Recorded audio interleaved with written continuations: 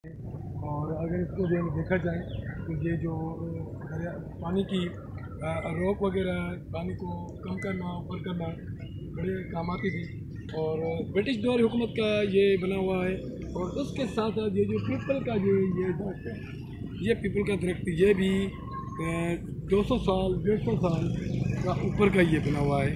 तो ये भी ब्रिटिश दौर हुकूमत और जब हिंदुओं का ज़्यादातर आबादी थी यहाँ तो हिंदू हिंदू धर्म में जो है जो पीपल का है बड़ा मकाम है इस तरफ़। का बड़ा इस मकाम को अहमियत की नज़र से देखते हैं। ये राइस केनाल जो है इस तरफ़ ये राइस केनाल अ, जो आता है ये सखर से सखर से आता है। ये इस तरफ़ ये पूरा ज़िला सखर फिर शिकारपुर लाड़काना उसके बाद फिर ये जादू ज़िला में जो ज़मीनों को यानी आबाद करता है।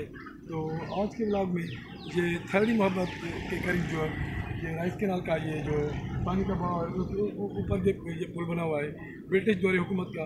और उतना ही पुराना, ये वो जो डेढ़ सौ, दो सौ साल पुराना ये पीपल का वन, जो आज भी बड़ा ये कितना ग्रीन और ज़बरदस्त दिखाई दे रहा है। तो आज के ब्लॉग में मैं आपको ये ये और रिक्वेस्ट करूँगा कि मेरे मसूद मंगी ब्लॉग को सब्सक्राइब करें और लाइक करें और शेयर करें। का नेक्स्ट ब्लॉग में फिर मैं आपके साथ हाजिर होगा मेहरबानी